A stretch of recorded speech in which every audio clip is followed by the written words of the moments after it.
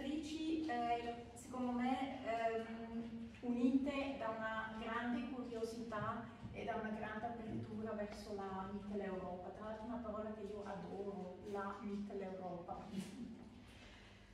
Allora, Ilma Racusa è scrittrice di prosa, di poesia, di saggistica e traduttrice, si occupa quindi di letteratura da varie angolazioni. Eh, questa sera ci occuperemo in modo particolare del rapporto tra scrittura e traduzione perché è un elemento che accomuna le nostre due autrici. Nel, ricordo diciamo, i massimi dati, nel 2019 è stata insignita del prestigioso premio Heinrich von Kleist per il suo libro um, Mein Alphabet, la sua ultima opera, e per la prima volta questo prestigioso premio tedesco è andato in Svizzera. Nell'ambito della traduzione letteraria il Maracusa si distingue eh, per le sue traduzioni da più lingue e eh, tra l'altro tra lingue molto diverse tra di loro. È figlia di uno sloveno e di una ungherese, è nata in una città slovacca nei pressi del confine dell'Ungheria, quindi si vede già la, la costellazione mitteleuropea. I primi anni li trascorre in varie città della Mitteleuropa, a Budapest, a Ljubljana, a Trieste, per trasferirsi poi in età scolastica a Zurigo. L'attenzione e il contatto con varie realtà linguistiche e culturali sono quindi scritti nella sua vita fin dagli esordi. Durante gli anni universitari a queste lingue se ne sono aggiunte altre, soprattutto anche altre letterature, perché studiò slavistica e romanistica, soggiornò a Parigi e a San Pietroburgo e poi eh, insegnò a Zurigo. Grazie a queste nuove lingue e letterature, il Maracusa estese le sonorità e le culture della Mitteleuropa a est e anche ad ovest. Nel 73 prestò per la prima volta la sua voce a un'autrice di lingua russa, Amalina Svietaeva. Da allora ha prestato la sua voce ad autori e autrici da quattro lingue. Eh, spiccano in particolare le sue versioni dal serbo-croato eh, di Danilo Kish, dall'ungherese Petr Nadash, dal francese di Marguerite Duras e, come già ricordato, dal russo di Marina Svietaeva. Oggi ci soffermeremo in particolare su due delle sue opere, eh, l'ultimo appunto Mai Alfabeto, non ancora tradotto, ma spero tra poco, e Mer Mer, eh, tradotto in italiano da Mario Rubino per Sellerio, Il mare che bagna i pensieri. Poi Anna Lucia è di casa. eh, però eh, anche lei eh, ha, un, eh, ha, un, legame forte con Zurigo, è cresciuta in Ticino ma anche a Roma e quindi anche lei ha vissuto a cavallo tra due culture, tra due lingue, tra due mondi e tra due letterature. Da molti anni vive tra Pavia e Riva San Vitale, insegna traduzione letteraria, è narratrice, traduttrice dal tedesco, autrice di poesia e di saggi e curatrice dell'archivio di Franco Beltrametti, per citare solo alcuni dei suoi ambiti di lavoro. Nel 2019 è stata insignita del premio svizzero di letteratura per il suo volume Gli anni di Nettuno, questo, e, insomma, un, un, premio importante conferito dalla, dalla Confederazione. La sua voce è legata in particolare anche a un'autrice, almeno per me in particolare, a un'autrice che amo molto, che è Mariella Meer, eh, molto tradotta da te e grazie a te anche conosciuta in Italia. Direi che Mariella Meer è conosciuta quasi più in Italia che in Svizzera, soprattutto grazie all'opera di, di, Anna Ruscià. Eh, fresco di stampa, eh, un libro uscito il mese scorso, pochi giorni fa, direi sì, da Passini, La forza prigioniera che è. Ecco, il tratto comune um, è sicuramente, uno dei tratti comuni è sicuramente la, la, la, traduzione. E, um, vorrei sapere da voi, se, che siete tutte e due scrittrici, in che modo la scrittura, diciamo, creativa, anche se questa è un'espressione che a me non piace molto perché anche la traduzione è molto creativa. Eh, in, che rapporto stanno il mestiere della scrittura e il mestiere della, della traduzione? Si, si, intralciano, si aiutano? Quali, quali sono i rapporti? Was ist die Wechselbeziehung zwischen, zwischen Schreiben und Übersetzen? Zuerst ich? Ja, das können Ja. Ähm, ja, also es gibt hier eine Beziehung, eh, mi dispiace che non parlo italiano, capisco abbastanza bene ma parlo molto male. Mio fratello che abita a Lugano, lui parla il perfetto, oggi è medico ma oggi non, non è qui.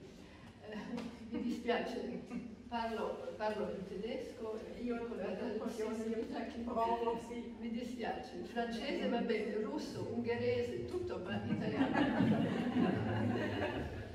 ma capisco abbastanza.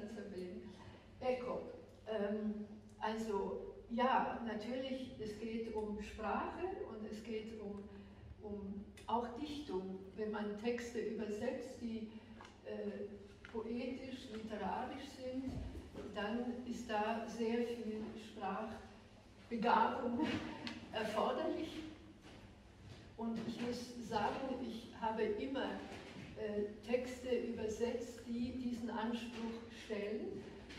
Ich hatte das Glück, als ich anfing zu übersetzen, 1972, dass ich meine Autoren und Autorinnen selber ausgesucht habe, Zvetaeva und andere. Und ich habe infolgedessen nur übersetzt, was mich wirklich interessiert hat und zu dem ich mich auch befähigt fühlte. Allora, um, adesso parlo in prima persona, faccio la, do la voce io degli Maracchis, sempre diventa troppo complicato. Eh, io ho sempre tradotto eh, testi eh, con, una, con, una, dimensione poetica forte, dove insomma, la, la, poesia o la lingua poetica o la, insomma, la lingua fosse, fosse, in primo piano e dove, dove, dove è necessaria una, uno spazio, una, una, una, capacità una, una capacità linguistica, grazie. e ho sempre posto questa condizione, questa condizione grazie, siete più bravi di me, ai, ai, te, ai, ai, testi e ho avuto la fortuna di poter scegliere i miei testi, insomma sono stata in questa posizione fortunata di poter scegliere gli autori e i testi che a me, che a me piacevano. Ja, es ist ein schwieriger Beruf. Ich halte Übersetzen für schwieriger als selber schreiben, aus dem einfachen Grund, weil Texte hier vorliegen. Das heißt, meine Freiheit ist schon ziemlich begrenzt. Ja? Ich will mich auch wirklich zu einer Stimme des Autors, der Autorin machen und äh, versuche wirklich optimal ein Äquivalent zu schaffen. Wenn ich selber schreibe, habe ich sehr viel mehr Freiheit, ob das Gedichte sind, Prosa, Theaterstücke oder Essays. Diesen Unterschied muss man, glaube ich, festhalten. Man hat nicht die gleiche Freiheit. Das heißt nicht, dass man ein Diener dieser Texte ist oder überhaupt in einer Dienerrolle ist, aber man ist zweifellos in einer Rolle des Nachdichtens. Ja. Allora, io reputo, reputo tradurre più difficile ehm, che scrivere, scrivere eh, la... Sì, sì, sì, io, io parlo in prima persona come se fossi il Maracusa, se non devo fare tutto nel, nel, nel, nel, discorso in diretto. Ehm, perché la traduzione è una libertà, diciamo, ristretta, una libertà condizionata l'importante è trovare un, un, equivalente però appunto in, sotto altre condizioni, sotto altri aspetti dove la, la libertà è, è, diciamo, è vincolata dal, dal testo di, di, partenza. Si è una specie di posizione di, di, di servitù, però occorre comunque usare la, la, la propria lingua nel, in, in, tutta la sua amichezza, vero? Sì. Anna? Non so se... Eh, beh, per molti versi rispondo come, prima. Eh, anch'io ho, ho avuto la fortuna di poter scegliere quasi tutti i testi che ho tradotto.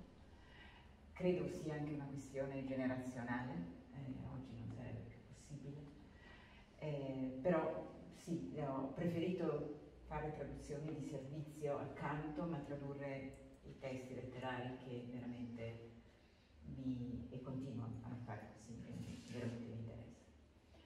E, il rapporto con, con la,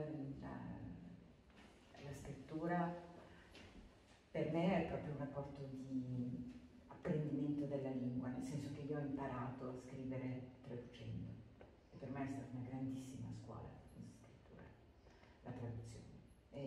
Siccome ho cominciato a scrivere anche abbastanza tardi, eh, non c'è un rapporto di, um, in tedesco Wechselwirkung, no? Cioè non, non, non, sono, non, si contaminano le due cose, ma, eh, ma c'è eh, però una, una, grande scuola nella, nella, traduzione. Sono assolutamente d'accordo che è molto più difficile tradurre che non scrivere. Scrivere in fondo è un po' tradurre da dentro, cioè tradurre quello che, che c'hai dentro e, e da traduttrici eh, diciamo che si impara anche un grande rigore nella propria scrittura dalla, dalla traduzione, perché la parola deve essere quella giusta e noi siamo abituati a cercare la parola giusta. Credo che questo sia un po' Il tipo di rapporto, anche sì, di relazione, rigore, sì. Mm. La ricerca della parola giusta, sì. Ja, auf jeden Fall äh, ist man, ich habe auch sehr viel gelernt, sehr viel durch das Übersetzen. Ähm, vor allem zum Beispiel von Danilo Kisch äh, mhm. aus dem Serbokratischen, aber es geht nicht so sehr nur, aus welcher Sprache übersetze ich, sondern welchen Autor, welche Autorin übersetze ich, was haben die für einen Stil, ja? Für einen Personalstil, den muss ich treffen. Für mich ist es eigentlich egal, ob ich aus dem Russischen oder Serbokrat oder Ungarischen übersetze, es sind unterschiedliche Sprachen. Aber wichtig ist, welchen Autor. Diese Sprache, diesen Ton zu finden. Und es geht bei literarisch anspruchsvollen Texten natürlich nicht nur um die Bedeutung, den Sinn, die Semantik, sondern es geht auch um die ganze Musikalität, den Rhythmus, den Ton. C'est le ton qui fait la musique, sagen die Franzosen. Wenn man diesen Ton nicht trifft, dann hat man eigentlich die Übersetzung schon verfehlt. Das hat übrigens auch äh, Marguerite Duras gesagt. Sie hat immer gesagt, semantische Fehler ist nicht so schlimm, aber die musikalischen Fehler, die sind unverzeihlich. Sì, ehm, Io ho imparato molto traducendo, in particolare eh, traducendo Danilo Kish, però la cosa importante in realtà non è eh, da quale lingua si traduce, ma da quale autore, da quale lingua in particolare del, dello specifico autore, da, da, quale stile, da quale suono e da quale ritmo si, si traduce. E, ehm, non, non, tanto il significato quanto appunto più il, il ritmo, la cadenza di un testo come anche eh, ricordava Marguerite Duras che diceva gli, gli errori di significato non sono, non sono, sono trascurabili, insomma, ma se uno sbaglia ritmo, se sbaglia cadenza, eh, è imperdonabile, diciamo. Sì. Ich habe nur noch eine Sache, Entschuldigung, ich wollte nur noch sagen, im Unterschied zu Anna, habe ich wenig Poesie übersetzt, äh, obwohl ich selber Dichterin bin. Ich habe übrigens auch früher angefangen, selber zu schreiben, als zu übersetzen. Bei mir kam zuerst das Schreiben und etwas später das Übersetzen. Bei Ihnen war es, glaube ich, umgekehrt. Und ähm, das mit der Poesie halte ich für sehr, sehr schwierig, vor allem weil ich eigentlich gerne russische Poesie übersetzen würde. Und die russische Poesie bis heute meistens eine metrische und gereimte ist. Und Metrum und Reim im Russischen hören sich sehr natürlich an. Wenn ich das versuche, quasi eins zu eins ins Deutsche zu übersetzen, entsteht etwas völlig anderes, was überhaupt nicht dem Original entspricht. Ähm, und deshalb habe ich mich sehr zurückgehalten mit Übersetzung von Poesie. Erst jetzt habe ich angefangen, ein bisschen ins Detail was Poesie auch zu übersetzen, aber ich bin mir immer bewusst, dass, dass es die Quadratur des Kreises ist. Gerade wenn man aus dem Russischen ins Deutsche Poesie übersetzt. Es gibt andere Sprachen, die sind nicht so sehr mit Metro und Reim unterwegs bis heute, also im 19. Jahrhundert schon, aber die russische Poesie ist bis heute eine sehr stark metrisch gereimte. Und das ist sehr schwer wiederzugeben. Eh, sì, finora ho, ho tradotto eh, poca poesia, ho cominciato contrariamente ad Anne Bouchard con la scrittura mia e solo in seguito con la, con la traduzione. Eh, tradurre poesia è, è, molto difficile, soprattutto tradurre poesia russa, perché la poesia russa è legata al metro e, al, e alla rima e quindi mi sono diciamo, trattenuta dal tradurre poesia soprattutto dal, dal russo per questa sua peculiarità. Verso l'italiano sarebbe più facile il russo. Non sono sicura, no. penso che è molto difficile. Brodsky per esempio è bene tradotto in italiano. Brodsky. È un, no, cioè, premio Nobel, Joseph, Joseph, Joseph Io l'ho conosciuto, sì. Brodsky, eh, sì, molto difficile, ma si può provare, ma io sono scettica. Sì, ma c'è, un'opera di Giovanni Giudici che dicono che sia la sua migliore, che è la traduzione di. Eh. C'è chi dice che la traduzione di Pushkin sia la migliore opera di Giovanni Giudici, poeta. Non lo so, io non so il gusto, quindi non so giudicare, ma sì, forse l'italiano aiuta in questo. Ma la um, prosa poetica, questo mi piace, questo sono capace di farlo, ma la poesia, perché sono molto, um, come si dice, anspruchsvoll. Eh, sì, esigente. esigente, scrivo, anche io scrivo poesia, ma senza rime, o poche rime, binnenreime, ma tra, tradurre eh, la poesia, specialmente russa, è molto difficile. Ma parla lei un po' delle sue esperienze a eh, negli Sax, e tutto questo anche molto difficile, forse. Ma non forse, sicuramente. Sì, la, la, la traduzione di poesia. Allora, io come eh, il Maracusa diceva di Danilo Kish, per me fondante è stato Thomas Bernard. E, credo tradurre scrittori come Danilo Kishi, Thomas Bernard avvicinano molto alla poesia, perché l'esigenza del testo dal punto di vista della ritmica, del, eh, del suono anche, e del, ma soprattutto dell'incastro no? Mm-hmm. della, della, prosa e della, del, anche della ripetizione è fondamentale eh, e uno impara appunto ad essere molto anspruchsvoll nei confronti di se stesso e eh, dell'autore che. La prima cosa che ho tradotto di poesia è stato il carteggio tra mh, Paul Celan e, Nelly Sachs e, eh, e due anni fa, tre anni fa l'ho rivisto perché è stato ripubblicato da un'altra e allora avevo 30 anni, avevo molta paura di, della, della, poesia proprio e, e, della, e, di queste lettere che erano poesia. No? Questa, questo scambio epistolare era in praticamente.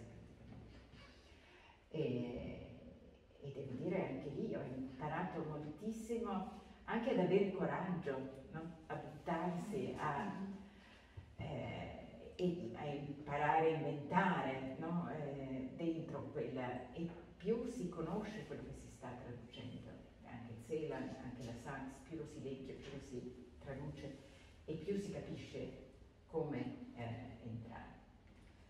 E io ho avuto un grandissimo maestro nella traduzione di Celan che era Michele Ranchetti, che, eh, che diceva che bisogna tradurre la parola. Celan non è enigmatico, Celan è molto concreto preciso e concreto, sì, sì. E, e, questo forse per, vale per molta poesia tedesca del Novecento, questa è un po' la, la chiave che Però io trovo la traduzione della poesia, che pratico veramente solo negli ultimi anni, però di grandissima soddisfazione e anche molto interessante quando si insegna la, la traduzione, sì, sì, perché si capisce moltissimo come funziona. Übrigens, Celan war ein genialer Dicht Nachdichter, Mhm. auch aus dem Russischen, Ah, von Mandelstam. Celan konnte ja. Mandelstam, Übersetzung. Jeseni und so weiter. Celan hat kongenial. Er konnte das, ich kann das nicht. also das müssen wir noch schnell übersetzen. Allora, visto che si, si parlava di Zena, che è stato per certi versi maestro della tua lingua, Anna, e eh, il Maracusa aggiunge che Zenan è stato a sua volta un grandissimo traduttore, con- congeniale, come si dice in tedesco, eh, dal, dal russo. Dal russo, dall'inglese, francese, ma dal russo anche specialmente difficile. È geniale, sì. Non ha tradotto anche Ungaretti? Sì, no, no, no, Ungaretti. Sì, Zenan. Ungaretti. Ungaretti. Ah, Ungaretti, sì. Ha sì. tradotto anche la- sì, sì, Ungaretti, Sì, sì, è vero. Sì. Eh, Emily Dickinson, Sì. Mandelstam, Mhm. das, dal francese anche. Vabbè, Zeran è il genio assoluto per me del, del Novecento tedesco, sì. Ehm, sì, la, la traduzione secondo me è una grossa responsabilità, è una grossa Verantwortung. uno eh, rovina un mondo se traduce male e penso che il traduttore se la sente addosso questa, questa responsabilità, quindi va soppesata ogni, ogni Perché parola. questo è anche un senso positivo, Sì. nel senso che sia nei confronti della traduzione che anche nei confronti dei propri testi, sapere prendere la responsabilità. Cioè è- c'è un'importanza nella parola no? che forse chi non traduce non, non coglie così, o non è detto, ma insomma traducendola questa responsabilità si impara a prenderla nei confronti della parola. Non è indifferente usare la parola, Sì. no? E questo forse Della sì, è- singola parola. della della singola parola, parola, sì. della parola. Bene, direi che ci avviamo verso le, le letture. Tra tutte le opere che avevo a disposizione nella preparazione di questo incontro, ne ho, ne ho scelte alcune insieme alle due autrici e abbiamo scelto di cominciare con un testo su Svetaeva, su Marina Svetaeva, tratta da questo ultimo volume, Mein Alphabet, ehm, diciamo per addentrarci lentamente nelle- nei testi delle autrici.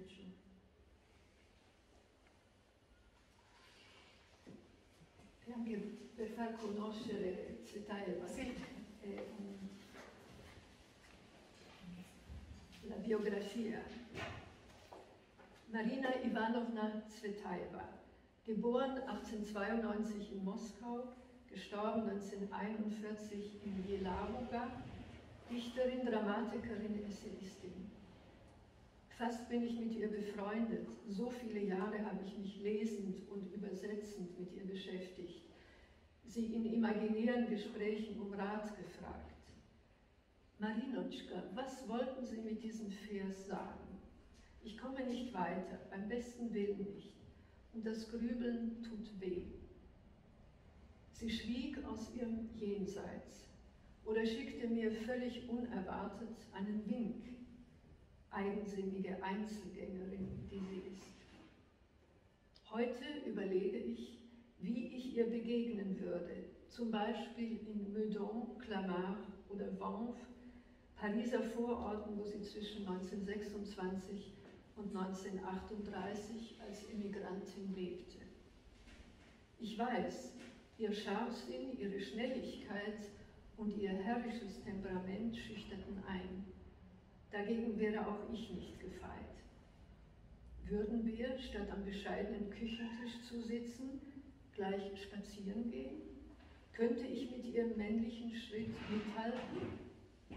Wie viele Zigaretten würde sie unterwegs rauchen? Und würde sich unser Gespräch um Liebe oder Poesie drehen? Im Zweifelsfall um letztere, denn Marina zog sie der wankelmütigen Passion vor. Schreiben, schreiben. Immer hinderte das Leben sie an dieser allerwichtigsten Sache. Drei Kinder, von denen das zweite, die kleine Irina, im Moskauer Bürgerkriegsjahr 1920 verhungerte.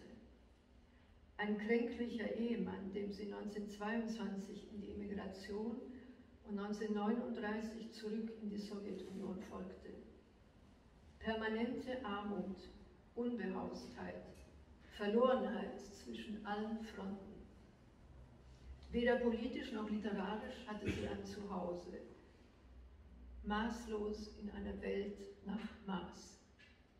Sie war stolz, unbeugsam, äußerst diszipliniert, das strenge Elternhaus, Moskauer Intelligenzia und bis zuletzt kämpferisch. Erst als Mann und Tochter im schicksalhaften Sommer 1939 vom sowjetischen Geheimdienst verhaftet wurden und sie nach Hitlers Überfall auf die Sowjetunion mit ihrem Sohn ins tatarische Ilabuga evakuiert wurde, wo sich die Schlinge des NKWD auch um sie zusammenzog, gab sie auf. Am 31. August 1941 nahm sie sich das Leben, knapp 49 Jahre alt. Vielen Dank. Allora di questo passo non c'è ancora la traduzione in italiano, quindi non possiamo leggerla. Eh, è un libro che comunque raccomando, è appunto Mein Alphabet, il mio alfabeto, ordinato in modo alfabetico, appunto comincia dalla A di, di Anders e finisce con la Z di Zaun, quindi una, una barriera, un, uno steccato e sono in parte testi in prosa, in parte testi in poesia, eh, sono riflessioni, piccoli dialoghi, insomma contempla va vari generi letterari e aspettiamo la, aspettiamo la traduzione in italiano. Ma come si fa? Questo è un problema di traduzione Questo è un alfabetico. Devo scrivere un, un altro libro. Sì, magari a quattro, fare un alfabeto? È questo giusto. sì, magari a quattro mani. Sì, con lei. Perché? Sì. Poi darei la parola a Anna Riscià che ci legge una traduzione di un testo di, di Mariella Mera appena uscito, anche vero? Sì. Appena tradotto da Eh, da questo piccolo libro d'artista, L'ultimo miglio di tempo si chiama. Sono tre poesie da una raccolta inedita che Mariella mi aveva dato anni fa. E, ehm, la pubblicazione è a cura di Domenico Brancali. Chiuso nel dolore, il mio ultimo miglio di tempo, non ha senso offrirgli una remissione leggibile. Qualcosa che somiglia al sangue ingioiella la mia mano, come se ancora ieri avessi frugato nella carne col mio tradimento alla luna sussurrante. Il lutto si libera dalle catene, cerca il colore che io non porto. Solo i piedi, una traccia inconfondibile, lasciano la misura di sé nella neve. Di un rosso vizioso diventa quando la calpesti, impercorribile per altri. Di senso inverso è ognuna delle tue parole d'amore, il gesto, lo sguardo, ormai inutili. Eppure, eppure, una fata nei giorni di secca della Foenna mi porta dolore, come se ci fosse qualcuno che ha quello che ogni tanto, di notte, mi riesce di essere. Grazie, molto bello, sì.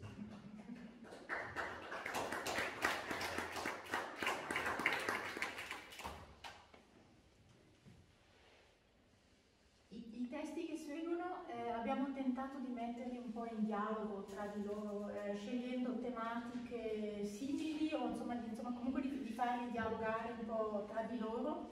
E comincerei di nuovo da un breve testo tratto da Mein Alphabet, che è proprio l'incipit, che è un testo poetico, e invito chi non sa tedesco di seguire semplicemente il suono, il suono della lingua, che contrariamente magari a molti pregiudizi sul tedesco, eh, il tedesco ha un, così, questa, ha questa leggerezza secondo me, che a volte è, molto da rendere in italiano.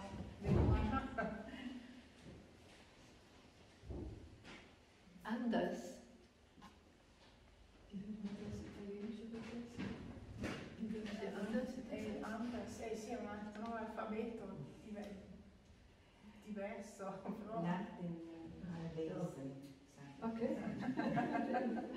Anders.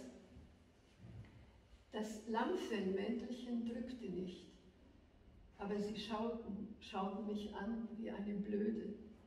Wo kommt die her? Was will die hier bei uns? Uns war nicht ich, war nicht mein. Uns war nicht ich, war nicht mein Mantel, meine Sprache, mein Kleid. Alles anders. Du bist anders, kicherten sie und zeigten mit dem Finger auf mich.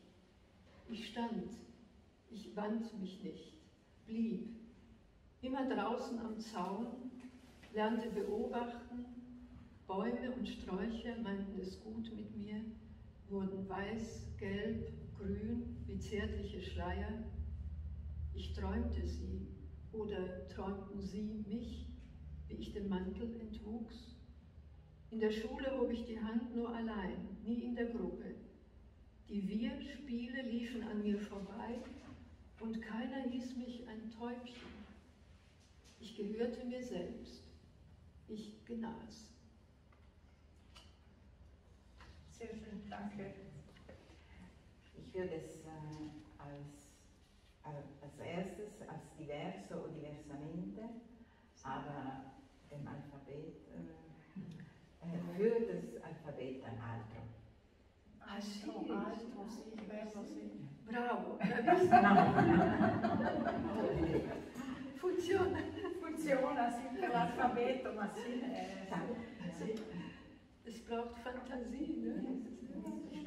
Ja, genau. Man muss sehr fantasievoll sein beim Übersetzen. Und doch genau. Und doch genau, Und doch das, genau. Ist, das ist die Beides. Quadratur des Kreises. sì. Ja, beides, beides. ja. Und da beschreiben Sie dieses Foto, glaube ich, oder?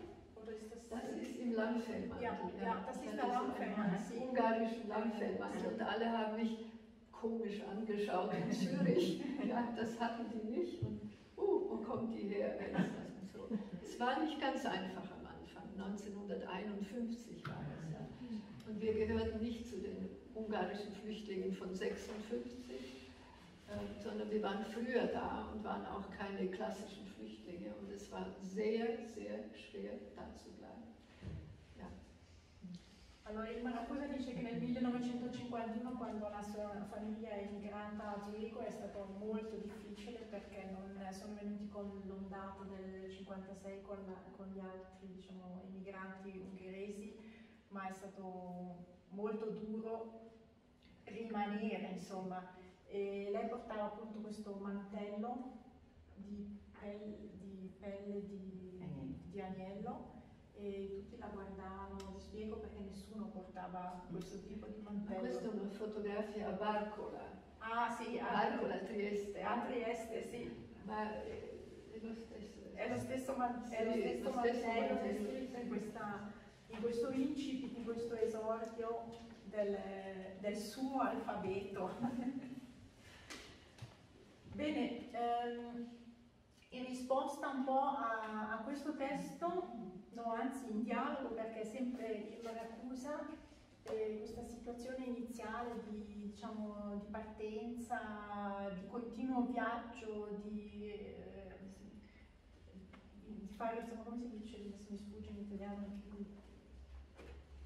smontare eh, di nuovo tutto. Ehm, ha scritto un racconto sul- sull'importanza delle valigie, sul valore delle, delle valigie nella sua vita, che adesso di cui leggo un breve passo eh, in italiano dalla traduzione appunto di Mario Rubino. Richard dice, questa patologia da valigie, non posso più sopportare la vista delle valigie. Richard è stato un girovago e continua pur sempre a girovagare, ne sa come mettere fine al carosello. Non appena lui mi rivolge lo sguardo, il mio personale film delle valigie comincia a srotolarsi. Di per sé eravamo sempre in procinto di fare i bagagli. Le valigie stavano sotto il letto, sull'armadio, nell'angusto vestibolo. Valigie di stoffa, di fibra marrone scuro, di pelle di porco logorata, corredate di cinghie per serrarle, dato che quei cosi diventavano gonfi e pesanti e dovevano vederne delle belle. Quando mia madre si chinava sulle profonde fauci della valigia, era giunto il momento. Ad ogni capo di vestiario che lei vi calava, spianandolo con un gesto meccanico, il presente scivolava verso un inconcepibile altrove, il qui non voleva più essere un qui. Stavo lì accanto, come se stessi accanto a me stessa. Era strana la rapidità con cui tutto ciò che si trovava intorno alla valigia andasse perdendo la propria realtà. Il letto su cui era posata, le pareti, la camera, che fin lì mi era stata familiare. Non appena cominciava a incorporarsi le cose, la valigia creava uno spazio immaginario fra i tempi nel quale mi ritrovavo perplessa e disorientata. Prendendo le mosse dal sentimento del distacco, la mia malinconia si trasferiva letteralmente ad ogni cosa, ad ogni cosa. Non eravamo ancora partiti, ma neanche eravamo più lì. Quanto più ci si metteva a fare le valigie, tanto più lo avvertivo come qualcosa di paralizzante. Il mio parere neppure lo si chiedeva, la partenza la decidevano altri, i genitori, le circostanze. Tu vieni con noi, io andavo con loro, verso l'ignoto, verso la prossima transitorietà, per tutta un'infanzia. Non si partiva mai precipitosamente, non era una corsa alla disperata di quelle in cui ci si lascia dietro una scarpa vuota. Non ci davamo alla fuga, facevamo valigie, i propri averi i propri averi in valigia. Ecco cos'era. E quindi un bagaglio leggero. Di furgoni da trasloco ne facevamo a meno. Quel che era difficile da trasportarsi restava indietro. Alloggiavamo per lo più in mezzo a mobili estranei che, appena mi c'ero abituata, tornavamo a lasciare. E tornavo già a guardare nelle fauci delle valigie. Della loro fedeltà non c'era da dubitare. La parola played la parola manicotto di pelliccia, le cose soffici, lanose, che danno calore, quasi prive di peso. Trascinare le valigie infatti era una faticaccia. Quel che non si muove su ruote è un carico gravoso, anche se c'è raccolto dentro tutto ciò che si possiede.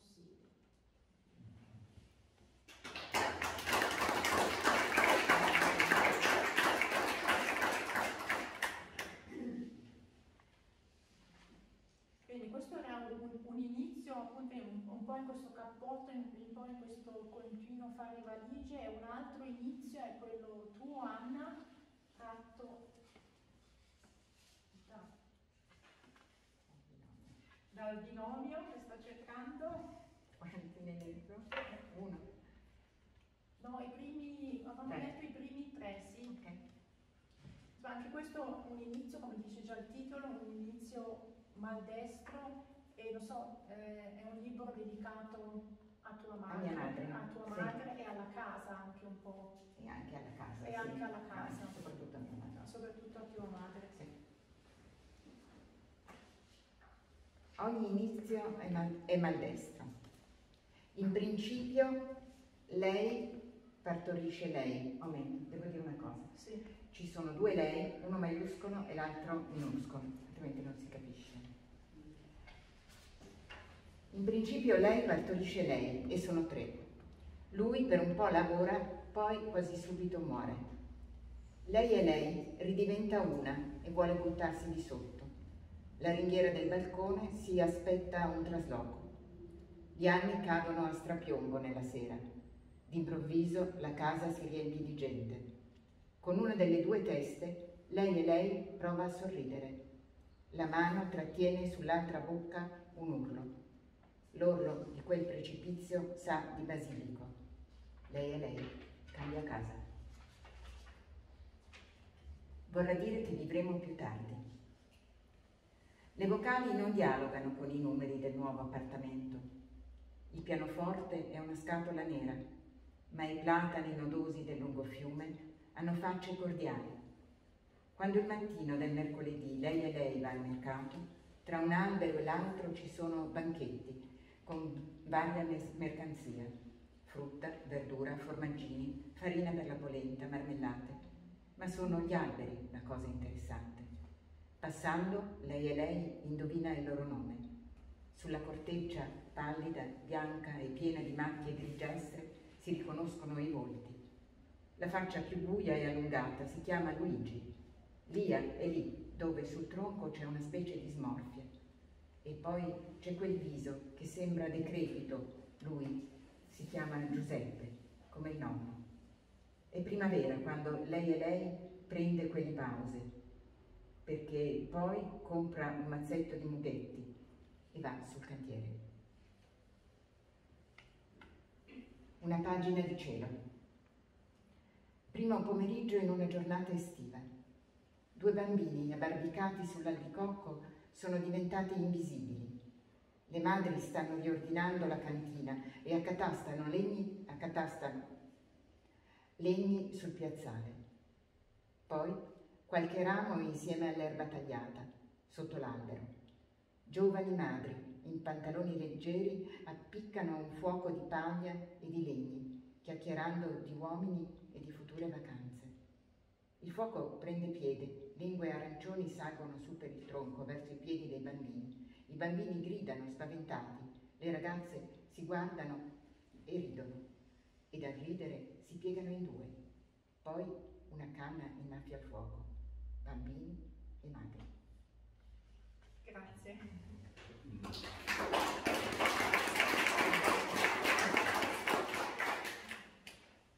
Sono testi molto densi con molti richiami letterari, vero anche? Sì, non so se vuoi dire... Di tu se no, no, cosa no, vedi. No, no, no, no, beh, intanto eh. beh, una pagina di cielo è, è Rodari naturalmente molto Erodari, anche il titolo Binomio, binomio fantastico è, è, nella grammatica della fantasia, è proprio una, quello che, che Rodari individua come il, il, nucleo che scatena la fantasia nel bambino, no? mettere insieme frigorifero e un elefante piuttosto che eh, questo sì. è il binomio fantastico. Sì. E, ehm, e mi sembrava sì, questo. E poi devo dire che il, il, lo stratagemma del, del, libro ha funzionato quando ho capito che questa cosa dell'ei lei, ecco. cioè, quando mi è venuta questa immagine eh, il libro ha preso forma. Che è un binomio fantastico questo eh, lei lei. Sì, sì, certo. questo sì eh, è difficilissimo da tradurre tra l'altro. Immagino. sì, insomma sì, anche per, per, una serie di assonanze, di eh, richiami sì. e, e, di concisione, anche un testo molto asciutto. Sì, come diceva sì. Ima, è un po' prosa lirica, no? Mm, sì, eh, sì. Quindi, in questo, questo, caso infatti comincia con la prosa lirica e poi passa, passa alla poesia. completamente alla poesia, sì. Sì, a Rodari devo moltissimo. Come maestro anche di scrittura? Sì, sì, sì, tantissimo. Lo leggevamo Rodari e parlavamo come le storie di Rodari, sì. sì. sì. Sì, è un autore anche che a me piace moltissimo anche per l'insegnamento, anche per la riflessione sulla lingua. Sì, poi ho scoperto molto tardi La grammatica della fantasia, che è un libro meraviglioso, che consiglierei a ma, ma proprio le, le filastrocche, le, le filastrocche sì, eh, avevano una capacità di, eh, appunto probabilmente proprio attraverso questo modo di mettere insieme cose molto lontane. Sì. E, eh, questa forse è in mente la, la cucina spaziale, sì. ecco, eh, che è fatta tutta di, di parole e di questo, questo, questo parlare in questo modo eh, ti, ti, ti, proiettava fuori dalla realtà era un bellissimo esercizio. Sì, che poi è, una definizione di letteratura, mettere insieme certo. cose lontane. far, far, parlare cose che sono distanti tra di loro. Tristezze alla griglia. Sì, una sì. cose de, della cucina spaziale. Sì, sì, sì. Bene, um, un tema importante, Anna, è, il, è, quello che hai trattato in questo volume splendido, eh, Volo in ombra, eh, che è la morte del padre, un tema che ricorre anche nell'opera di Ilma Racusa, che dà un po', il, che dà un po l'incipit eh, di Mermer. Ehm, forse vuole leggerci proprio solo l'incipit, eh, solo l'incipit del, del libro Mermer.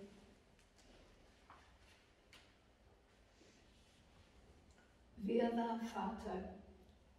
Als er starb, hinterließ er nichts Persönliches. Keine Briefe, keine handschriftlichen Notizen, nichts. In seinem Schreibtisch lag der Autoschlüssel mit dem silbernen Maria-Theresien-Taler, in den Schubladen Bankauszüge, Versicherungsausweise, säuberlich geordnet. Keine unbezahlten Rechnungen.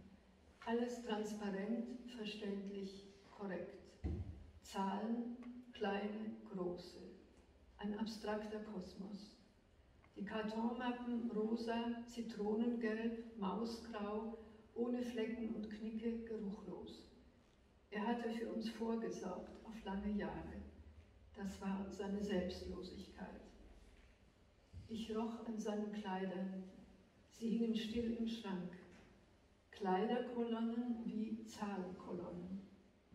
Der leicht ausgefranste Pulloverärmel war tröstlich und unten die ausgetretenen Lederpantoffeln. Fast bekam ich Mitleid mit ihnen. Argloser konnte man nicht sein und anhänglicher. Vor dem stummen Krawattenrudel machte ich kehrt. Grazie, bellissimo questo Krawattenrudel. che non ricordo come è stato tradotto. Beh, ma forse leggi anche in italiano. Lo leggo anche in italiano. Chi era mio padre? Quando morì non lasciò scritto nulla di personale, né lettere né appunti, niente. Sulla sua scrivania c'erano le chiavi dell'auto col tallero d'argento di Maria Teresa, nei cassetti in bell'ordine, estratti conto, polizze d'assicurazione. Nessuna fattura da pagare, tutto quanto trasparente, semplice, esatto. Cifre grosse, cifre grosse, piccole un cosmo astratto, le cartellette di colore rosa, giallo limone, grigio topo, senza macchie o gualciture inodori. Aveva provveduto a noi per molti anni a venire. Era questo il suo altruismo. Annusai i suoi abiti, pendevano silenziosi nell'armadio, colonne di abiti come colonne di cifre. Dava conforto la manica del pullover un po' sfilacciata e giù in basso le pantofole di pelle deformate. Mi fecero quasi compassione. Non poteva esserci maggiore inconsapevolezza e più devozione. Davanti alla muta schiera delle cravatte feci dietro front.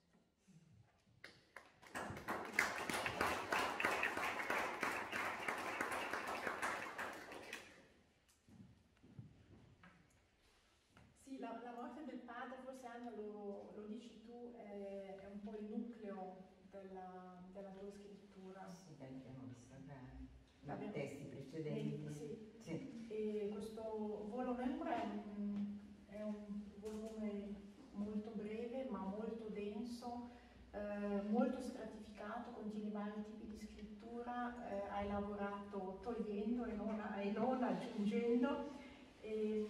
L'incipit è un salmo di servizio che era già stato pubblicato eh, in Geografia senza fiume, è stata forse una delle primissime cose che ho scritto su questo argomento, poi ho, ho, fatto delle ricerche per parecchi anni per scrivere questo, questo libro Volo in ombra, che sì, come dice, come dice Jacqueline, ha diversi, anche diversi livelli di, di lettura possibili.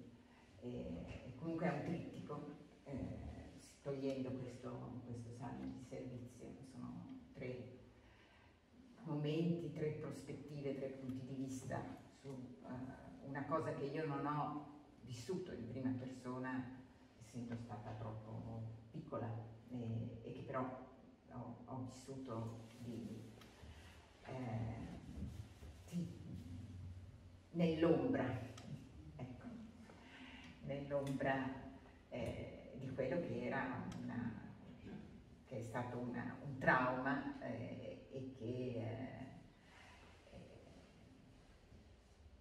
e che in qualche modo ho voluto eh, vivere di, attraverso la scrittura. Vivere, e non dico non per concludere, ma vivere per capire cosa io avevo vissuto. In questo senso era come una traduzione da dentro di quello che io da bambina mentre leggevo Rodari, eh, invece no, eh, quello che lavoravo dentro di me con le parole di Rodari, in, eh, ecco, questo è quello che è venuto fuori dopo, dopo molti anni. E sì, sono abbastanza contenta di questo, di questo piccolo libro. Allora tu vuoi, leggo il salmo di servizio. Sì, magari dici allora, il salmo due di servizio... come, come, è composto perché è una composizione sì. molto complessa, vero? Sì, il salmo di servizio l'avevo, l'ho scritto per una lettura pubblica alla, a Mendrisio, al manicomio di Mendrisio. C'era stata una lettura pubblica, una sorta di veglia, eh, prima dello scoppio della prima guerra in Iraq. E mi avevano invitato a leggere, io stavo pensando a questa cosa già da un po' e, e ho preso l'occasione per, per, scriverla, poi la scrittura in realtà è mia, non, non c'è qui dentro, è eh, un collage tra il libretto di servizio di mio padre e eh, il Salmo 72 eh, tradotto da Guido Ceroletti. Mi sembra, eh, 72, qui c'è più esperto, Salmo di servizio. Vedo i tuoi occhi, ne hai tu memoria? Statura 1,74 m, perimetro del torace 87, perimetro del braccio 26, peso 65 kg acuità visiva, destro 2, sinistro 1,75.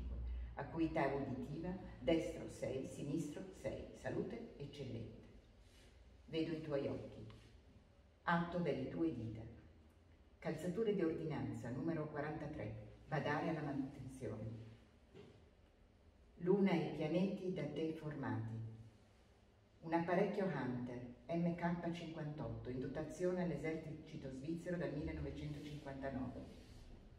Dübendorf, Meiringen, Payerne. E l'uomo? Cos'è?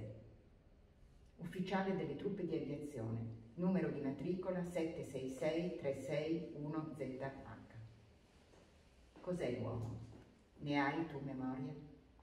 Quasi un ragazzo, capelli neri, occhi castani, quali notizie hai tu dei figli d'uomo? Corsò, 12 marzo 1936, Meiringen, 25 ottobre 1960. Quasi un ragazzo. Ne hai tu memoria dei figli d'uomo? L'esercito provvede alle vedove e agli orfani. Vedo i tuoi occhi, luna e pianeti. Quali notizie hai dei figli d'uomo, tu? 25 ottobre 1960, l'apparecchio Hunter precipita sulla pista di Meiringen quasi un ragazzo. Vedo i tuoi occhi, atto delle tue dita, luna e pianeti da te formati. E l'uomo, cos'è? Ne hai tu memoria? Quali notizie hai dei figli d'uomo? Tu. Grazie.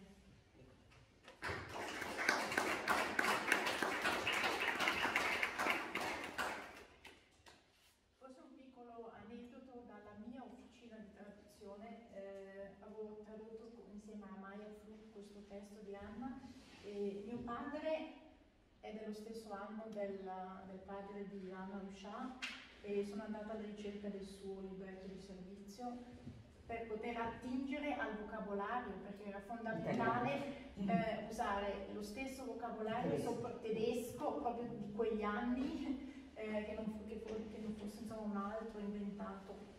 E, insomma, sì, questo è un... È stato di grande aiuto. È stato di immenso aiuto. Eh, sì, adesso da allora ce l'ho io, il libretto di servizio di mio padre. Bene, eh, Fabiano mi fa dei segnacci.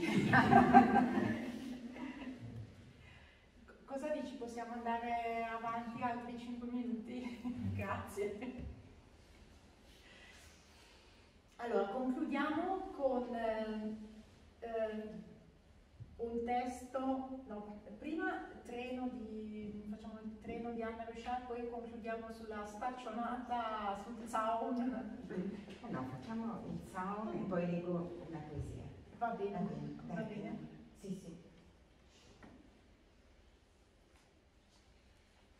Ja, Zaun ist äh, tatsächlich das letzte Kapitel in diesem Buch Mein Alphabet.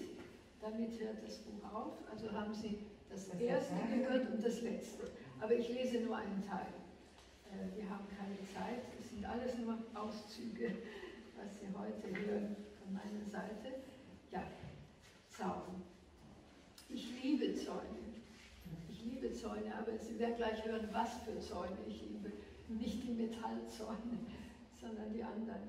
Holzzäune, schiefe, morsche, grau gewordene, russische, die die Landschaft skandieren, die sich um Karten und Datschen ziehen, ohne Katzen, Füchse und sonstiges Getier abzuhalten. Das heißt, die können alle durch die Zäune, die Katze, die Füchse und so weiter. Also ohne Katzen, Füchse und sonstiges Getier abzuhalten. Oder sie schmiegen sich auf Dorffriedhöfen um die Gräber, jedes Grab ein kleines Revier mit Holztisch und Bank, wo auf die lieben Toten angestoßen wird. So ist es in Russland. Ich habe in Russland gelebt. Äh, auf den Gräbern gibt es wirklich Tische und Bänke und da trinkt man und isst man auf die lieben Toten. Ist ein bisschen heidnisch, aber sehr schön, sehr schön. Holzzäune haben ihren Rhythmus und Ton, eignen sich zum Zaungucken. Nicht die strammen Palisadenzäune, jene anderen, windschiefen, lückenhaften, die es mir immer schon angetan haben. Du schielst durch die Zwischenräume, wirfst verstohlene Blicke über den Zaunrand. Das Zeug wackelt, da, mhm. das Zeug wackelt, hält dann Gewicht, aber stand. An Kletterversuchen bist du nicht interessiert. So poetisch der ländliche Holzzaun, so unerbittlich der Metallzaun. Er signalisiert nur eines, hier kommst du nicht durch. Engmaschig hoch, solid verankert, markiert er Grenzen, dient zum Ausschluss von Flüchtlingen oder anderen unliebsamen Elementen. Ungarn, Melilla, Israel, ach.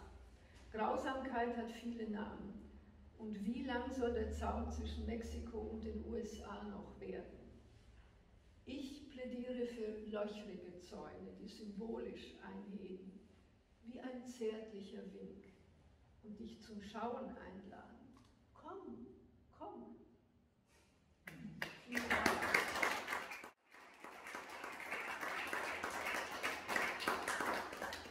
Quindi non le, le ramine metalliche, ma appunto le, le, le staccionate, come le tradurresti? Eh. Beh, ramine, le ramine di metallo, per, sì. Sì, le staccionate sono di legno. Di legno, questi Holzzäune appunto sto, storte, grigiastre, già semi ammuffite, queste sono le... Vi conosce il film di Tarkovsky, Andrei sì. Tarkovsky, eh, questo primo famoso, ma si vede sempre queste, sì, diese Holzzäune, die sind überall, müssen aber auch bei uns gibt es viele. Der Film Stalker. Nein, nicht Stalker, nein, nein, nein, nein, andere, der andere, dieser frühe Film. Nein, nicht Rublev, nicht Rublev. Das kommt mir gleich. Ja, ja. Machen Sie nur weiter. Nicht der, nein. Comunque si parla di muri in Italia, insomma, in italiano quando si parla di quelli. Di quel, del metallo. Della ramina, non è più la ramina. Non è più la ramina, sì, adesso si sì, anche verso il Anche Messico, per sono- il Messico, il Messico, Messico, sono anche Israele. Sì, sì.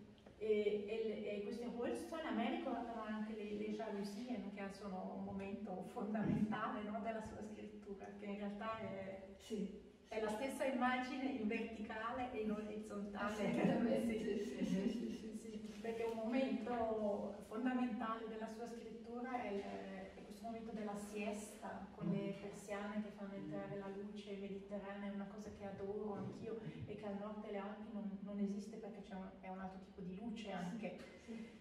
E- Questa era la mia infanzia sì, a Trieste. a Trieste, sì.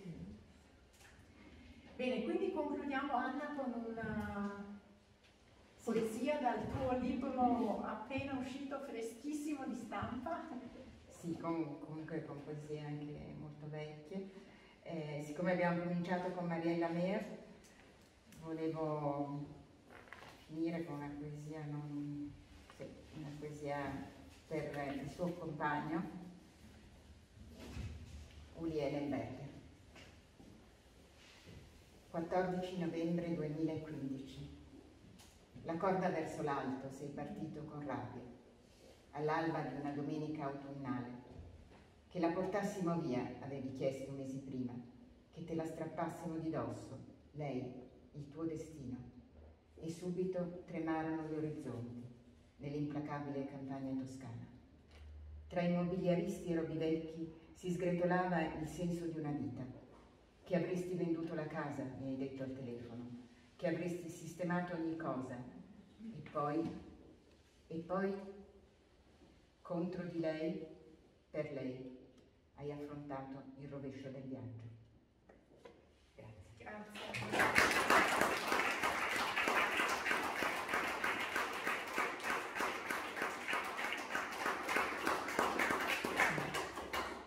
Einen Satz. äh, einen Satz, um den Bogen nochmal zu übersetzen, zu schließen. Das wollte ich eigentlich vorher schon sagen. Dieses Buch, aus dem Sie Auszüge Italienisch auch gehört haben, heißt auf Deutsch Mehr, mehr. Ja? Mehr und dann mit zwei E, mehr. Ja? ja, also das Buch ist in 13 Sprachen übersetzt worden. Alle haben sich sehr Mühe gegeben. Am wenigsten Mühe haben sich im Italienischen gegeben. Äh, Also, mare che bagna i pensieri. Oh, mon Dieu, mon Dieu. Aber das, ich wollte was Kurzes, Ja. mehr, mehr. Ja? Russisch, äh, also Mnogo Mora zum Beispiel, Serbisch oder so. Und das ist so lang.